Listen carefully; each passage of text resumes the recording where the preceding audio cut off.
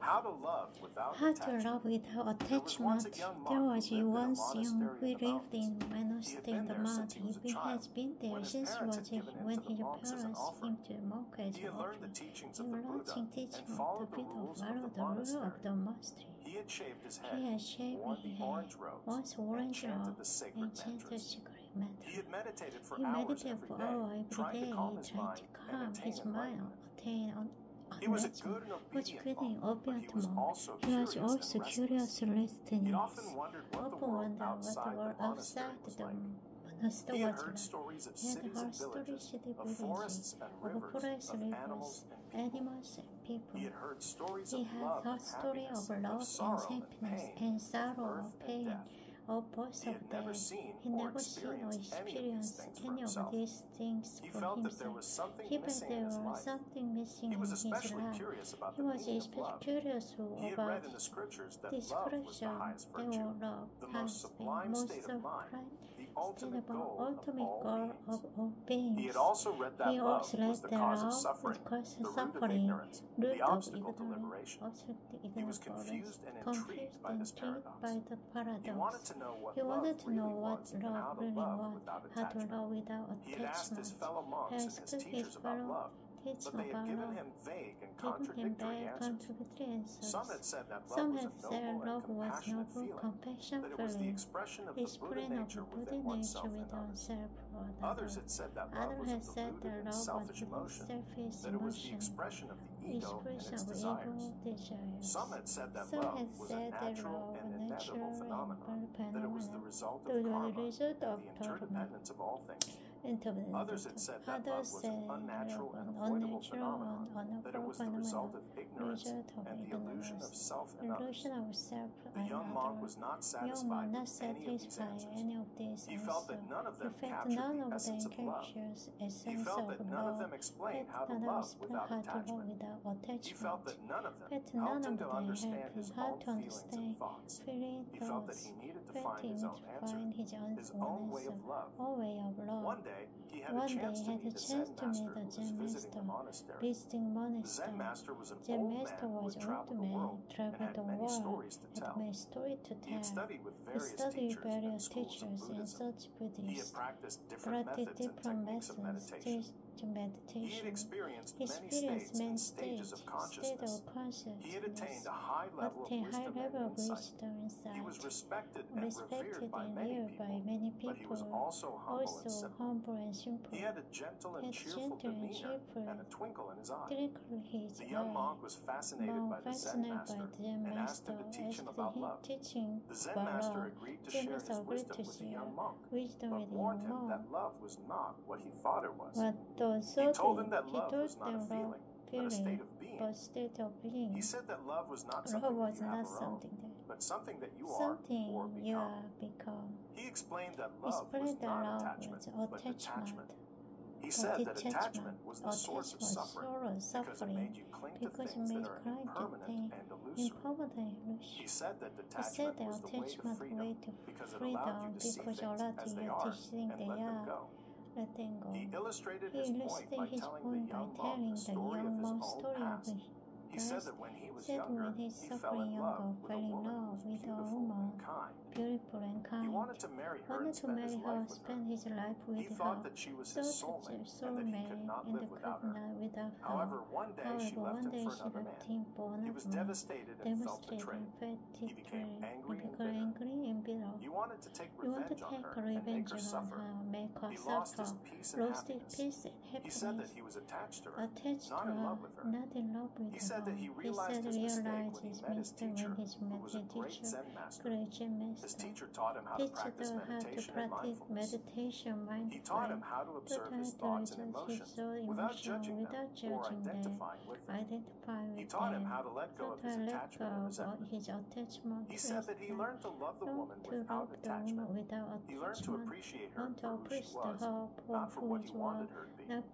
He learned to wish her well, not to harm her not to he harm learned to be her, happy not her, to happy not to envy her. Not to envy her. He learned to love her, not, not to, to possess her. Not to possess he said her. that he found peace and joy in his heart. Peace and joy in he said that he was no longer dependent on her for his happiness. For his he said happiness, that he was free to love free anyone and anything, any, without expecting without anything in return. Anything in he said that he was in love, not attached. Love, not attached. He concluded by he telling the young monk the the true the true meaning of love. He said that love he was not a feeling, love, but a state of being. State of being. He said that love he was said not that love with no attachment. attachment. He said that love was not something that you have or own, but something that you are or become. The young monk was moved young by the Zen master's story and thanked him for his teaching attachment. He said that he understood, he now, what love was and how to love, how without, love attachment. without, attachment. He said that he would try to apply try this lesson to, his own life and practice. practice. The Zen master smiled Zen master and blessed, the, young blessed the young monk. He said that he was he glad to have met him and hoped that he would find happiness, and enlightenment. And he said that he had, he said leave that now, he had to leave but that now, he would always remember. Always remember. He said that he, he loved said him that without attachment. without attachment. The young monk bowed the young and bid farewell to the Zen master. Master. He watched him as he, he walked away, walked disappeared away, into, the horizon. Into the horizon. He felt a warm and gentle sensation, gentle in, his sensation in his chest. He realized that he realized loved the Zen, master, loved without attachment. without attachment. He returned to his room and sat on his cushion. He closed his eyes and focused on his breath. He felt a calm and clear familiar state of mind. He felt a connection and compassion, for, all living beings. He felt the gratitude and joy for everything that he had. he, felt the love and freedom for himself and others. He felt that he was in love without attachment. He opened his eyes and looked at the wall. He saw a painting of the Buddha that hung there. He saw the serene and radiant expression on the Buddha's face. He saw the wisdom and compassion in the Buddha's eyes. He saw the love and detachment in the of attachment, Buddha's he smiled smart and bound to painting. He said to himself, he said to I love you without attachment. I hope that you like the story of like the young monk and the Zen master, and, and that you found it helpful and inspiring. The story teaches us a valuable lesson about the true meaning of love. Love is not a feeling, love is not a feeling. of being. Instead of being. Love is not attachment, love is not but attachment. But love is not something that you have something or own, that you have but something that you are something or that become. You are become. Love is not dependent love is on others, dependent but on yourself. Love is not selfish, but selfless. Love is not suffering, suffering but freedom. Love is not a paradox, is not but, paradox harmony. but, harmony. I invite you to reflect on this lesson and apply it to your own life and relationships. relationships. How can you love without, can attachment? Without attachment? How can you be free How to love anyone, anything, to love without expecting anything, anything in return? Without expecting How can you be in love, be not, love attached? not attached? I hope that this video will help you to find peace and joy in your heart and to share it with others. I hope that you will love yourself and others without attachment. May you be blessed with, the wisdom, the wisdom and compassion of Buddha. May you be free May from the suffering and ignorance of attachment. May you be filled with the peace with and joy of detachment. May you be open to the love and freedom of being. May you be generous, May be and, kind generous and kind to yourself and others. May you be mindful, May be mindful and aware of your thoughts and emotions and emotional. Maybe grateful, joyful for everything that you have. Maybe not attached. Not attached. Maybe happy and may you be uh, well and safe. Don't forget to hit that subscribe button so you won't miss any of our upcoming wisdom stories. You can also. He had been there since he was a child when his parents had given him to the monks as an offering, he had learned the teachings of the Buddha and followed the rules of the monastery. He had shaved his head, worn the orange robes, and chanted the sacred mantras. He had meditated for hours every day, trying to calm his mind and attain enlightenment. He was a good and obedient monk, but he was also curious and restless. He often wondered what the world outside the monastery was like. He had heard stories of villages, city of villages, forests and of forests and rivers, animals and people. and people. He had heard He stories of heard love stories and story happiness, of of love, sorrow and pain, sorrow and of birth and death. of He had never seen or never seen experienced any of these experienced any of these things for He felt that there was He something missing in his something life. missing in his He was especially curious about the meaning curious of about the meaning of He love. had read in the He scriptures the that love was scripture the highest virtue, was the highest most sublime state of most mind, the ultimate mind, goal of ultimate all goal beings. of being. He had also read he that also love read was the cause of suffering, of suffering the root of ignorance, root the obstacle to liberation. To liberation. He was confused he and intrigued by this paradox. By paradox. He wanted to know he what love know really what was and how to love without, attachment. without attachment. He had asked his fellow monks and his teachers about love, but they had given him vague and contradictory, and contradictory answers. Some had said that love was a noble and compassionate feeling, compassion that it was the expression of the Buddha nature within oneself and others. Others had said that love was a deluded and selfish emotion, that it was the expression of the ego and its desires. Some had said that love was a natural and inevitable phenomenon, that it was the result of karma and the interdependence of all things. Others had said that Others love was an unnatural and avoidable phenomenon, that it was the result of ignorance and the illusion of self and others. The young monk was not satisfied with any of these answers. He felt that none of them captured the essence of love. He felt that none of them explained how to love without attachment. He felt that none of them helped him to understand his own feelings and thoughts. He felt that he needed to find his own answer, his own way of love. One day, he had a chance to meet a Zen master who was visiting the monastery. The Zen master was an old man who had traveled the world tried many wall and had many stories to tell. He had studied with various studied teachers and schools of Buddhism. He had practiced different methods and techniques of meditation. He had experienced, he many states and stages of consciousness. He had attained a high level of wisdom and insight. He was respected and revered by many people, but he was also humble and simple. He had a gentle and cheerful demeanor and a twinkle in his eye. The young monk was fascinated by the Zen master and asked him to teach him about love. The Zen Master agreed to share his wisdom with the young monk, but warned him that love was not what he thought it was. He told him that love was not a feeling, but a state of being. He said that love was not something that you have around, but something that you are something or that become. now become. He explained that he love explained was that not love attachment, not attachment, but detachment. He said that attachment was the source of suffering, source of suffering because it made you cling to things that are impermanent and illusory. He said that detachment was the to way to freedom because it allowed you to see things as they are and let them go let them go. He illustrated, he illustrated his point by telling the young monk the story of his own, past. He said that when he said was younger, he, young fell in love with a woman who was beautiful, and, beautiful kind. and, kind. He wanted to marry her and spend his life with her. He thought that she was so his soulmate and that he could not live without her. However, one day she left him for another man.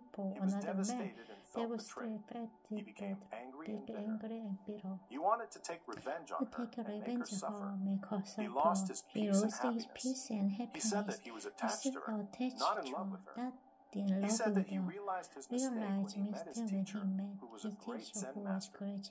Teacher taught him how to practice meditation and mindfulness. He taught him how to observe his thoughts and emotions without judging them or identifying with them. He taught him how to let go of his attachment and resentment. He said that he learned to love the woman without attachment. He learned to appreciate her for who she was, not for what he wanted her to be. He learned to wish he her well, to not to harm her. Not to he harm learned her, to be happy not for her, to be happy not to envy her. Not to envy her. He learned to love her, not to, not to possess her. Not to possess he said that he found peace so and joy in his heart. In his he said that he was no longer dependent no longer on her for his happiness. On for his he said that he was free to love anyone and anything anyone without expecting anything, anything in return. Anything in. He said that he was in love, he not was attached. In love, not attached. He concluded by he telling the young monk that this was the true, meaning of, true meaning of love. He said that love said was not a feeling, not but, a feeling but a state of being. He said that love was said not love attachment, was not but He said that love was not something that you have or own, but something that you are or become. become. The young monk was moved by the Zen monk master's story Zen master and thanked story, him for his teaching. He said that he understood now what love was and how to love without attachment. He said that he would try to apply this lesson his his own lesson life to and practice. The. Zen master Zen smiled master and blessed the young blessed the monk. young monk. He said that he He was glad to have met him to and have hoped met that he him would who find find happiness and happiness enlightenment. in, and He said that he had to leave now, but that he would always remember him. always remember him. He said that he He loved him said that without loved him attachment. without attachment. The young monk bowed and young bid man farewell to the Zen master. farewell to Zen He watched him as he walked him away and disappeared away, into the horizon. into the He felt a warm and gentle and sensation in his chest. sensation in his He realized that he loved the Zen master without attachment. He returned to his room and sat on his cushion. He closed his He eyes and his focused on his breath. on his He felt a calm and He clear state of calm and mind. clear state He felt mind. connection and With compassion connection for and all living for beings. all living He felt beings. gratitude and joy for everything that he had. he felt had. love and freedom for himself and others. He felt that he was in love without attachment. without attachment. He opened his eyes and looked at the wall. at the He saw a painting of the Buddha Painting that hung there. Buddha hung He saw the serene and radiant expression on the Buddha's face. on the Buddha's face. He saw the wisdom Saw and the compassion wisdom, in the Buddha's eyes. Buddha's He saw the love and detachment love in the Buddha's heart. Buddha's heart. He smiled and Smiled bowed to the bowed to painting. the painting. He said to himself, said to I love you without love attachment. without I hope that you like the story of the young monk and the Zen master and that you found it helpful and inspiring. The story teaches us a valuable lesson about the true meaning about of the love. true meaning of love. Love is not a feeling, Love is but not a state of being. state of being. Love is not Love attachment, is not but detachment. Love is not something that you have or own, but something that you are or become. Love is not dependent on not others, but on yourself. Love is not selfish, but not selfless. selfish, but selfless. Love is not suffering, but freedom. Suffering, but Love is freedom. not paradox, but harmony. Paradox, harmony. I invite you to reflect on this lesson and apply it to your own life and relationships. relationship. How can you love How without can love attachment? without attachment? How can you be free How to love be anyone free and to anything love without expecting anything anything in return? expecting anything How can you be in love, How can you be in love, not attached? I hope that this video will help you to find peace and joy in your heart and to share it with others. I hope that you will love yourself and others yourself without others attachment. without attachment.